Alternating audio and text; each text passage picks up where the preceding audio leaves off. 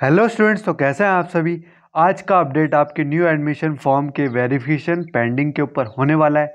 जैसा कि काफ़ी स्टूडेंट्स के डाउट है सर हमें ये बताइए 10 से 12 दिन हो चुके हैं सोल के एडमिशन फॉर्म निकले हुए, और हमें भी काफ़ी टाइम हो चुका है, सात से आठ दिन हमने पहले फॉर्म भरा था, और अभी तक हमारा वेरिफिकेशन पेंडिंग में दिखा रहा है तो उसका क्या सोल्यूशन है? क्या हमारी तरफ़ से कोई गलती हो रही है, या फिर ये सोल की तरफ़ से इशू आ रहा है, और कितना टाइम लगेगा? और अगर हमारा वेरिफिकेशन कंप्लीट हो जाता है तो उसके बाद हमें फ़ीस पेमेंट कैसे करनी है? या फिर हमारा वेरिफिकेशन रिजेक्ट होता है तो उसके बाद हमें क्या करना होगा? तो आज की वीडियो इसी के ऊपर होने वाली है। तो वीडियो को एंड तक ज़रूर देखिए। उससे पहले अगर आपने अभी तक सब्सक्राइब नहीं किया तो प्लीज़ सब्सक्राइब करते हुए और वीडियो को लाइक करते हुए ज़रूर जाएगा डिस्क्रिप्शन में आपको टेलीग्राम और व्हाट्सअप का लिंक मिलेगा। उसे भी जाके ज्वाइन कर लीजिएगा। अब चलिए वीडियो को आगे बढ़ाते हैं। देखिए, आपके सामने भी इस टाइप का इंटरफेस शो कर रहा होगा, जिसमें आपका personal complete, academic complete, program uploads, preview complete. यहाँ तक आप सभी का कंप्लीट दिखा रहा होगा।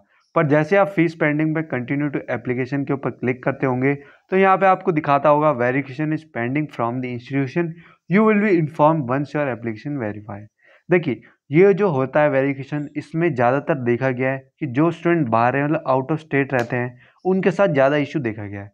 क्योंकि काफ़ी स्टूडेंट ऐसे भी है दो तीन जिनके एक दिन पहले उन्होंने फॉर्म भरा उसके दूसरे दिन ही उनका वेरिफिकेशन कंप्लीट हो गया और तीसरे दिन उन्होंने पेमेंट करी और चौथे दिन उनकी पेमेंट भी कंप्लीट हो गई, उनके पास मेल आ गया और उनका आईडी कार्ड और फ़ीस रिसिप्ट उन्हें मिल गया।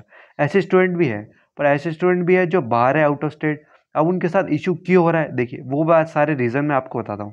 देखिए, काफ़ी स्टूडेंट ऐसे हैं जो बाहर रहते हैं। अब वो क्या कर रहे हैं? एड्रेस प्रूफ में तो कहीं और का एड्रेस डाल रहे हैं और करंट एड्रेस में कहीं और डाल रहे हैं। तो यहाँ पे सोल्व कंफ्यूज हो जाता है तो आपकी जो वेरिफिकेशन करता है डिटेल्स को तो उसमें वहाँ टाइम लग जाता है। और अगर वो गलत प्रूफ हो जाती है तो आपका जो वेरिफिकेशन है, वो रिजेक्ट कर दिया जाता है। अब बात है रिजेक्ट कर दिया, उसके बाद क्या होगा?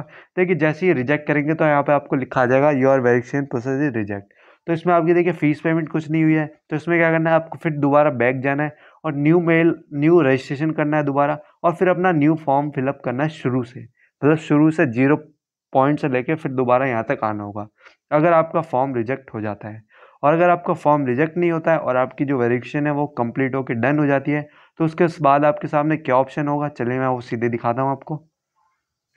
देखिए, जैसे अगर आपका वेरिफिकेशन कंप्लीट हो जाता है तो आपके सामने इस टाइप का इंटरफेस शो होगा। आई बैंक या आई बैंक जो भी होगा, वो क्लिक करना होगा। जैसे आप इसके ऊपर क्लिक करेंगे, आपके सामने इस टाइप का इंटरफेस होगा। देखिए, ये तब मैं बता रहा हूँ अगर आपका वेरिफिकेशन कंप्लीट हो जाता है। अगर आपका नहीं होता है तो आपने कहीं गलती हो, करी होगी तो अपने प्रोसेस में पीछे जाइएगा। और जहाँ पे भी आपका जो एड्रेस का ऑप्शन है, या फिर कोई फ़ोटो है, वो क्लियर नहीं है ब्लर में है, या फिर कोई आपने डिटेल्स छोटा, बड़ा कैपिटल वर्ड्स लिख दिए हैं तो उन सबको एक बार दोबारा चेक कर लीजिएगा। इनकम सर्टिफिकेट आपने गलती नहीं करी है इनकम सर्टिफिकेट का ऑप्शन होना ही नहीं चाहिए। उसको कैसे रिमूव करना है, मैंने कल की वीडियो में बताया तो इससे पहले वाली वीडियो को देख लीजिएगा। और आपका पासपोर्ट वाला ऑप्शन भी नहीं आना चाहिए। तो ये सारी चीज़ें आपको हटानी है, ताकि आप आराम से फॉर्म फिल कर सकें। ये बात आपको समझ में आ गई। अगर आप इसके बाद भी अगर आपका कोई एरर आता है तो आप कमेंट से बता सकते हैं। देखिए इसके बाद आपको करना है नेट बैंकिंग और यूपीआई की तरफ़ बिल्कुल मत जाइएगा। इसमें देखिए, वहाँ पे वेरिफिकेशन में टाइम लगा है, फिर यहाँ पे आपको पेमेंट में भी टाइम लगेगा। आपके पैसे कट जाएँगे, पर आपके पास वेरिफिकेशन नहीं आएगा कि आपका जो एडमिशन है, वो डन हो चुका है। इसमें भी टाइम लगता है, इसलिए आपको हमेशा क्रेडिट कार्ड और डेबिट कार्ड से पेमेंट करनी है। ये बात आपको समझ में आ गई? किसी का भी ले लीजिएगा घर में तो आप जैसे कार्ड क्रेडिट, डेबिट कार्ड पर क्लिक करेंगे तो आपके सामने इस टाइप का इंटरफेस होगा। यहाँ पे आपको कार्ड नंबर डाल देनी है, फिर एक्सपायरी डेट, फिर सीवीवी और फिर नेम ऑन कार्ड, और यहाँ पे सिक्योर पे टिक करके प्रोसीड कर देना है। ये चीज़ आपको ध्यान रखनी है, जैसे आप डेबिट क्रेडिट कार्ड से पे करते हैं। ये बात आपको समझ में आ गई?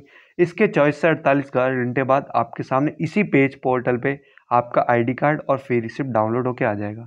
देखिए, मेरे पास जो स्टूडेंट ने थे, वो भेज देते अगर मैं इसकी वीडियो शाम तक एक और वीडियो बना दूँगा, जिसमें आपको समझा दूँगा कि फ़ी रिसिप्ट और आईडी कार्ड दिखने में कैसा होगा और उसमें क्या क्या चीज़ें मेंशन होगी और आपका भी फ़ी रिसिप्ट और आईडी कार्ड सेम ऐसा आया नहीं आया, या फिर आपके कोई गलती आ चुकी है। ये बात आप उसमें आ गई बाकी अगर वेरिएशन का अभी भी आपके पास डाउट आ रहा है, या तो आप थोड़े दिन और रुक जाइए, एक दो दिन, फिर भी नहीं होता है तो फिर आप कमेंट से बताइएगा क्या इशू आ रहा है। बाकी मैंने आपको बताया, या तो रिजेक्ट कर देंगे या एक्सेप्ट कर देंगे।